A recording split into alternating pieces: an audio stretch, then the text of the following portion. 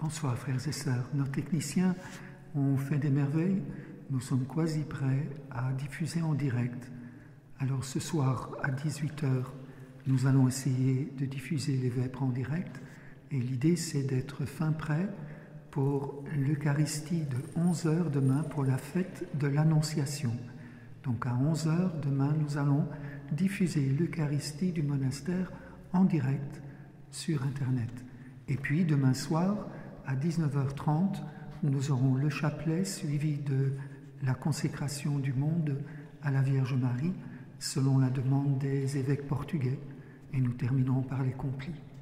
À très bientôt pour cette nouvelle tentative de contact de communion entre nous à travers les offices en direct.